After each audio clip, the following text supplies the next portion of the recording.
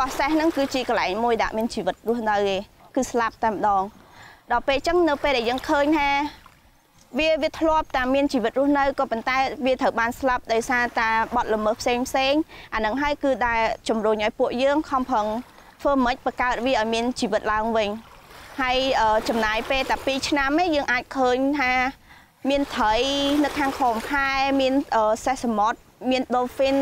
ចាប់ផ្ដើមមកហើយឥឡូវហ្នឹងពួកយើងឃើញសម្គាល់ខ្លាំងហ្នឹងគឺបាក់សីសមុទ្រវាមកច្រើនមែនតើអាហ្នឹងមានន័យថាវាសបោត្រីដើម្បីឲ្យវាចិញ្ចឹមជីវិតវារាល់ថ្ងៃហ្នឹងព្រោះបាក់សីសមុទ្រគឺវាស៊ីត្រីនៅក្នុងសមុទ្រចឹងមានន័យថានៅពេលដែលបាក់សីសមុទ្រមកច្រើនក៏យើងមើលឃើញថាអឺសុខភាពសមុទ្រក៏វាប្រែប្រួលទៅតាមនឹងដែរសមុទ្រគឺវាផ្ដល់ជីវិតដល់យើងគ្រប់គ្នាទាំងការដកដង្ហើមទាំងនិយាយទៅវាសំខាន់ ដោយសារតែពួកយើងដកដង្ហើមរាល់ថ្ងៃគឺគាត់បានរក្សាសមុទ្រហើយម្យ៉ាងទៀតភាពរស់នៅក្នុងទឹកសមុទ្រហ្នឹងគឺវាសំខាន់មែនតើដោយសារវាផ្ដល់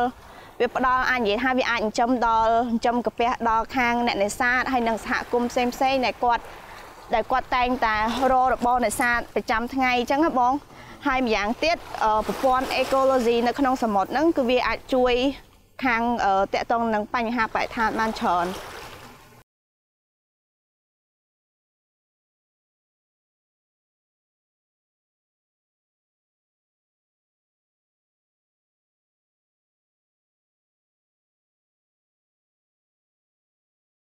សម្រាប់ខ្ញុំអឺពេលទៅជាមួយទឹកគឺយើងឃើញអីថ្មីថ្មីរាល់ថ្ងៃឧទាហរណ៍ថាថ្ងៃហ្នឹងយើងទៅជាមួយទឹកចឹងយើងឃើញមានស្មៅសមុទ្រយើងឃើញមានការថ្មយើងឃើញមានត្រីធំធំដល់ពេលស្អែកឡើងយើងទៅម្ដងទៀតយើងអាចឃើញអ្វីថ្មីផ្សេងផ្សេងទៀតចឹងណាចឹងអឺ ជីវិតនៅក្នុងសមុទ្រគឺយើងអាចអឺអត់អាចវាតម្លៃបានថាធម្មតាមួយថ្ងៃបានទេគឺយើងត្រូវស្វែងយល់គឺយើងត្រូវរៀនពីវាជារៀងរាល់ថ្ងៃអាហ្នឹងគឺខ្ញុំយល់ថាសារៈសំខាន់របស់វាគឺវាមានអ្វីថ្មីវាមានអីបរិញ្ញាយើងរាល់ថ្ងៃបើបើគិតទៅបើយើងលើកឧទាហរណ៍តាក់ទងមនុស្សយើងយើងមានដៃយើងមានបេះដូងយើងមានភ្នែកមានអីសមុទ្រក៏ចឹងដែរឧទាហរណ៍បើសិនជាសមុទ្របាត់បង់ស្មៅសមុទ្រវាដូចមនុស្សយើងបាត់បង់បេះដូងអញ្ចឹងហើយអាហ្នឹងក៏ដូចគ្នាទៅនឹងត្រីសេះ ត្រីសេះបើសិនជាយើងអត់មានត្រីសេះទេវាដូចជាមនុស្សយើងបាត់បង់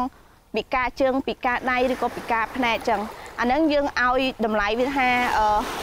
សមុទ្រវាអាចខ្វះអ្វីមួយបានទេដូចមនុស្សយើងចឹងយើងអត់មានអាចខ្វះអឺ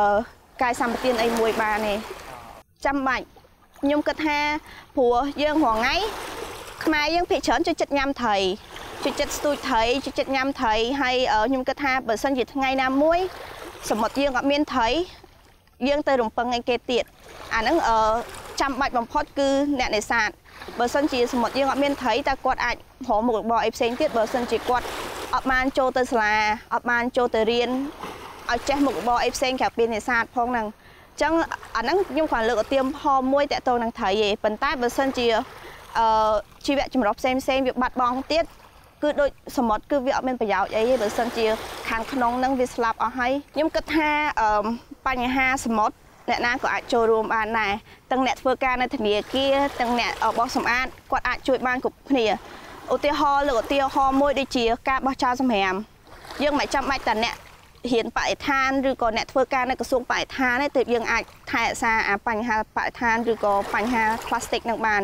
ក៏ប៉ុន្តែយើងអាចបកមកកែប្រែទម្លាប់នៃការរស់នៅរបស់យើង កាត់បន្ថយប្រើផ្លាស្ទិកអាហ្នឹងគឺជាឧទាហរណ៍មួយឯងចឹងដូចនៅក្នុងសមុទ្រនឹងចឹងឧទាហរណ៍បើសិនជាយើងយល់ពីសារៈសំខាន់របស់វាយើងនឹងព្យាយាមធ្វើដូចយើងជួយយើងប្រកាសជាផ្ដល់ដៃដើម្បីជួយដល់អ្នកដែលធ្វើការផ្ទាល់នៅលើនៅលើកោះហ្នឹងតែម្ដង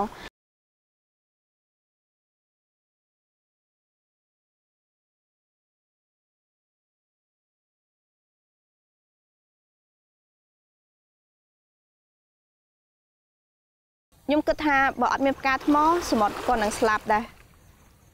វាដូចជា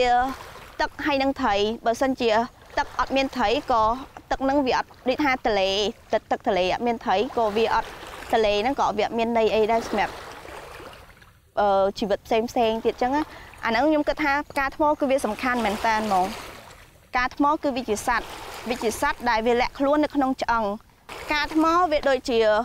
ស្បែកហើយនឹងឆ្អឹងរបស់មនុស្សយើងអញ្ចឹងគ្រាន់ថាភាពខុសគ្នាគឺស្បែកនៅខាងក្រៅហើយឆ្អឹងនៅខាងក្នុងអាហ្នឹងរបស់មនុស្សយើងក៏ប៉ុន្តែផ្កាថ្មវិញគឺអឺស្បែកវានៅខាងក្នុងហើយឆ្អឹងវានៅខាងក្រៅដូចអឺតោះតែយើងរៀនពីវាទៅយើង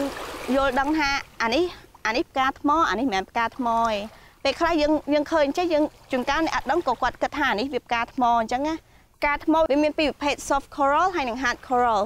នៅពេលដែលយើងចោះទៅឧទាហរណ៍ថាខ្ញុំចោះទៅជាមួយទឹកអញ្ចឹងបើខ្ញុំចង់ដឹងថាអានេះវាអឺវាវា soft coral ឬក៏ hard coral ខ្ញុំយកដៃខ្ញុំបក់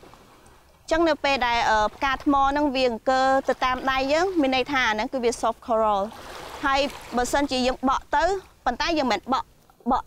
ទៅចិត្តវាអញ្ចឹងណាយើងបក់ពីចងាយអញ្ចឹងនៅពេលដែលយើងបក់ទៅវាឃើញអត់អង្គើទេអាហ្នឹងវាអាចទៅជា hard coral បាន អឺបើនិយាយពីផ្កាថ្ម គឺវាផ្កាថ្មគឺវាត្រូវការរស្មីសំយោគច្រើនអញ្ចឹងនៅពេលឧទាហរណ៍ថាផ្កាថ្មនៅពេលដែលផ្កាថ្មហ្នឹងវាស្លាប់វាអាចមកពីជាតិអំបិលនៅក្នុងទឹកសមុទ្រហ្នឹងតិចជាងអឺចង់និយាយថាទឹកជាតិអំបិលហ្នឹងគឺវាតិចជាង អ្វីដែលតម្រូវការរបស់វាអាហ្នឹងហើយជាកត្តាមួយដែលវាស្លាប់បានហើយនៅពេលដែលវាស្លាប់ដូចជាសត្វភេទរស់ផ្សេងផ្សេងដែលវាដែលវាអឺ ពឹងពាក់ទៅលើផ្កាថ្មហ្នឹងដូចជាខ្ញុំលើកឧទាហរណ៍មួយដូចជាសត្វអឺត្រីដែលគេហៅអឺ long beak fish អាហ្នឹងគឺវាវាអាស្រ័យទៅលើផ្កាថ្មច្រើនមែនតើនៅពេលដែលមានផ្កាថ្មគឺមានវា